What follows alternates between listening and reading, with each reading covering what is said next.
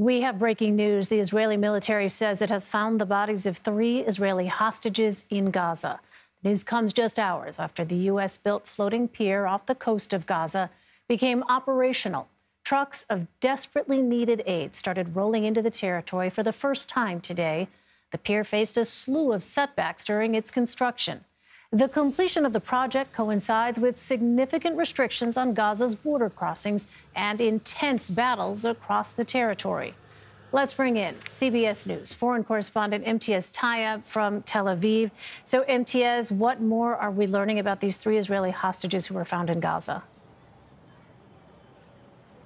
Yeah, hi, Elaine. Well, in the last hour, uh, we heard from the Israeli military who announced that the remains of these three hostages who were killed uh, in the chaos of Hamas's brutal attack on the Nova Music Festival on October 8th, and the remains were then taken into Gaza.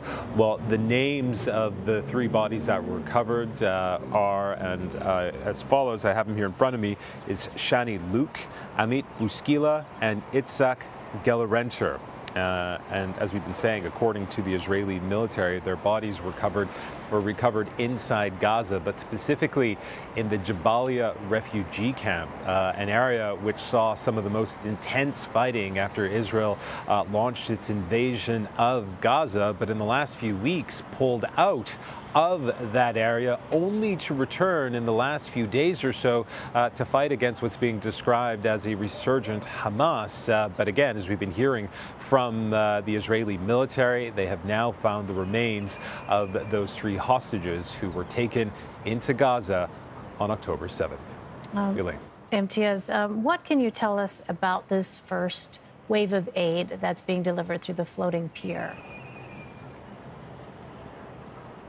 Yeah, uh, after months, uh, months after President Biden announced the construction of this pier, and after considerable delays, the pier anchored uh, off the coast of Gaza, and we've now seen the first truckloads of aids making it, aid rather making its way into the Gaza Strip. We understand that around 90 trucks of aid will start making its way into Gaza. That will increase up to 150 trucks a day, but it falls, falls far short, rather, of the 500 trucks needed every day to get the amount of aid and supplies needed into Gaza that was coming in before October 7th. And as we know, the humanitarian situation in Gaza is extremely dire. But I do want to point out that although the U.S. military, uh, met, met, rather servicemen and women, were heavily involved in the construction of the pier and the anchoring of it and will help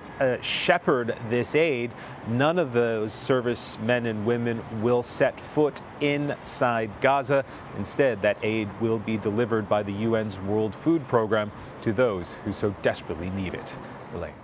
And Imtiaz the White House, we know, is working to get at least 20 American doctors out of Gaza after Israel closed the Rafah border crossing.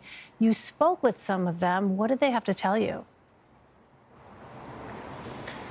That's right. Uh, we spoke with a few doctors who are at the European hospital in Khan Yunis, which is in the south of Gaza, just uh, not too far from Rafah, where Israel has been widening what it's describing as a limited operation in the last relative safe area of Gaza. And the doctors have been telling us that the situation they've encountered has been extremely dire. In fact, saying that in the intensive care unit uh, that they work in, not a single patient they've treated there has lived. And that is hmm. simply because they do not have the right resources they need in order to treat those patients. Now, one of the nurses that we spoke to, a nurse uh, by the name of Monica Johnson from Portland, Oregon, um, she has been stuck in Gaza for a week longer than she had planned. She was supposed to leave uh, on Monday uh, and was on her way to a crossing to see if she could get out of Gaza. And she sent a, us a message. I'm going to read it to you very quickly. It says, We are currently waiting at the Israeli controlled border. It was a difficult passage. We had a tank pointing its barrel at us for exactly one hour before letting us through one of the checkpoints. We were so heartbroken to leave over half our team and the people of Gaza. I am so fearful for their safety. Now, Elaine, I can tell you that in the last few hours, we received a second message from Nurse Johnson, who again is from Portland, Oregon.